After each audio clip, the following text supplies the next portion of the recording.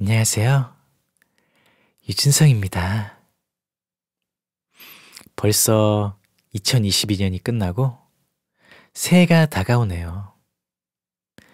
생각해보면 정말 아주 그지 같은 한 해였지만 여러분들이 있어서 정말 행복했던 것 같아요. 여러분들도 저와 같은 생각이겠죠? 아리가또 고자이마스가 인스타에서 다시금 핫해지고 있는데 12년째 역주행만 하고 있어요.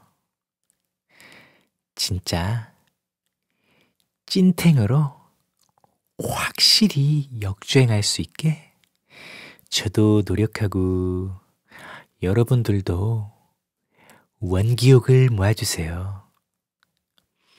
새해에는 모두들 건강하시고 쓸모없는 곤약인간 친구들을 과감하게 정리할 수 있는 그런 용기와 지혜, 돈을 많이 버는 그런 행복한 한 해가 되기를 이 유진성이가 응원할게요. 새해에도 아리가또 고자이마스. 해피 뉴 이어.